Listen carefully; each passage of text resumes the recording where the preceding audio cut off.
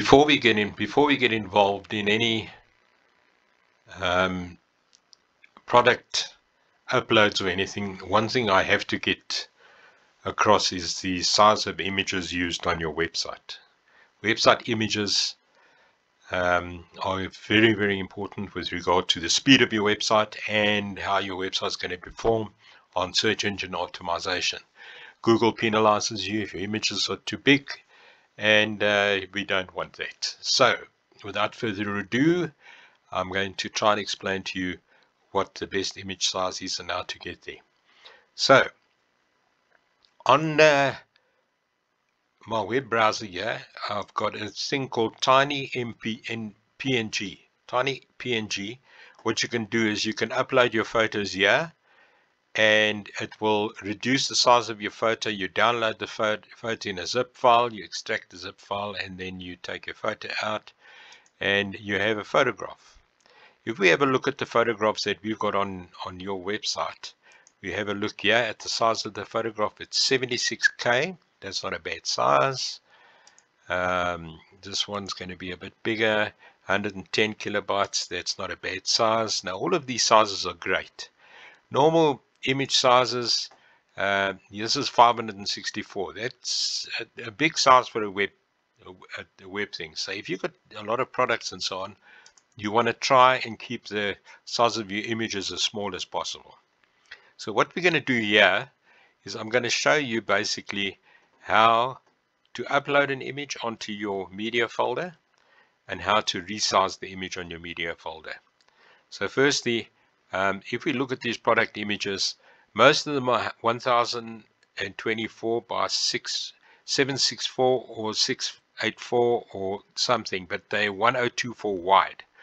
Try and make it 1024 wide by something smaller or 1024 by 1024 square.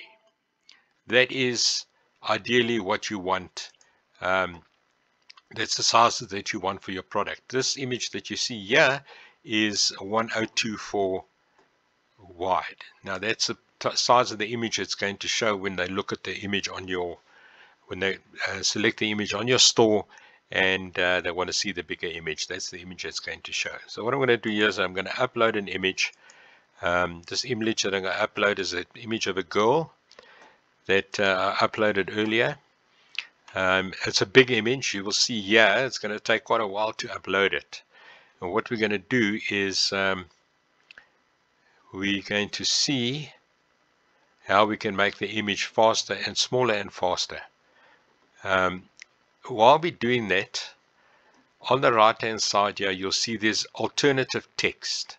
Alternative text is also used in search engine optimization. Search engine, it, it, it helps people that are blind or deaf to understand, um, or mostly blind, I suppose, to understand uh, if they're getting, if they're viewing the web, or if they're visiting the website um, as a blind person, this alternative text here is going to tell them what the image is about. So yeah, I would put in something like a colorful girl